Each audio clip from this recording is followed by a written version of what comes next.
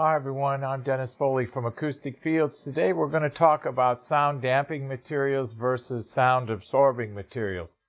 These terms are used interchangeably and they're really not. They pertain to completely different things, completely different uh, concepts and mechanisms, related but really different, and, and there's a lot of confusion in it. So let's try to clear some of that up today.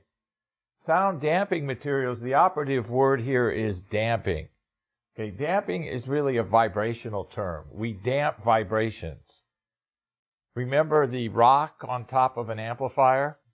It got better sound? Well, it got different sound because that's a electromechanical system and you put some mass on it and you change the vibrational signature, so to speak, of the unit. So it's damping is a process that's relegated to vibration and the science of vibration.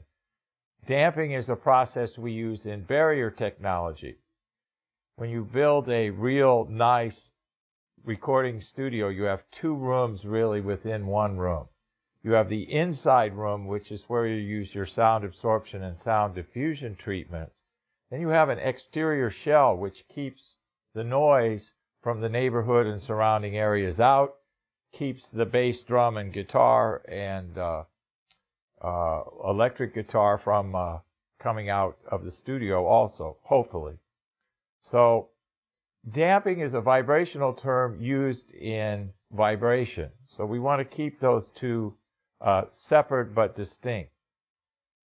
Really, when we're talking about, instead of saying sound damping materials, we, we should say, uh, and not, and, and people think that sound damping means sound absorption. It does not.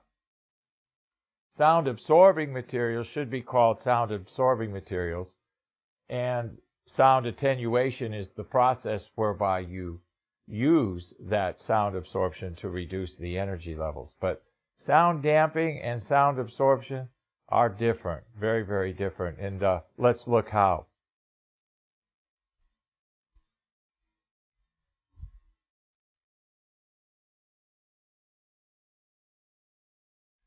Okay, let's uh, use an example to illustrate sound damping. We discussed uh, the two rooms that we have really in our, studios that we build. We have the inside room and then we have the outside shell. The outside shell is really the barrier between outside noise coming in and inside no noise going out. In that barrier technology, we use a lot of times multiple layers of materials, multiple layers with different densities. Why? Why different densities? Because what we're trying to do is trick, if you will, or fool, uh, to, to apply human uh, terms to it, this huge pressure wave that the bus outside or that garbage truck has produced, and this wave is headed into our studio.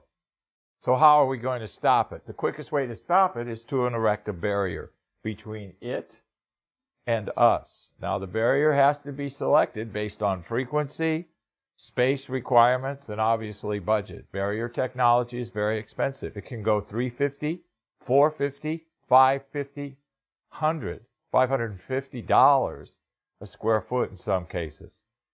So barrier technology, keeping unwanted noise out is very, very uh, expensive to do and to do it right, especially if you have low uh, noise requirements uh, for the room usage.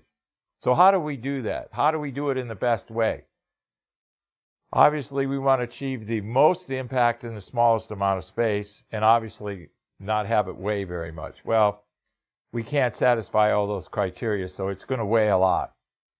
We use multiple layers, and the layers of materials that we use have different densities. And that, as a vibration, so if you're a vibration or a sound energy wave striking this surface, and you encounter one density, it's going to distort your waveform x. When it strikes a material of another density, it's going to do x plus that material. When it strikes another material, it's going to do x plus that material. So it's this series of materials that the energy wave has to go through so that it's reduced in amplitude on the other side. It's actually a name for that process. It's called constrained layer mass damping.